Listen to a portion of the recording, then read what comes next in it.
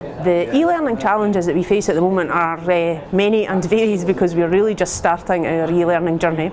We um, have to win over a very varied and diverse uh, workforce of around 500 to get them to start using online training because we haven't used it before and we hope to use it in a variety of different courses.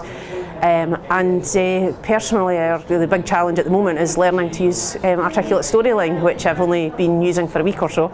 Um, I'm really enjoying it, but uh, I'm looking forward to knowing my way around it a lot better than I do at the moment.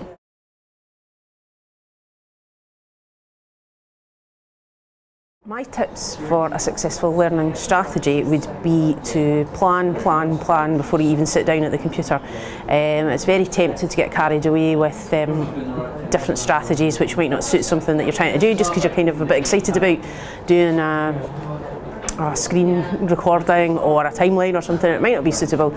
So I think that would be the best thing to do is to have a clear idea of what you want the end to look like so that you don't get distracted as you go.